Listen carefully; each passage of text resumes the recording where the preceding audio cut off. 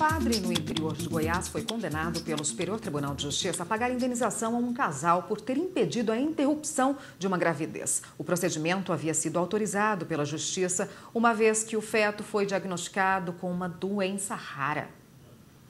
Os ministros da terceira turma reformaram a decisão do Tribunal de Justiça de Goiás e condenaram o padre a pagar 60 mil reais de indenização por danos morais ao casal. O caso aconteceu em 2005, no interior de Goiás. Na época, o feto foi diagnosticado com uma síndrome que provoca um conjunto de malformações e, por isso, ele não sobreviveria fora do útero da mãe. Os pais, então, conseguiram autorização legal para interromper a gravidez gravidez. Mas o padre Luiz Carlos da Cruz entrou com um pedido de habeas corpus para impedir o procedimento. A mulher foi obrigada a passar por um parto doloroso e o feto morreu logo após o nascimento.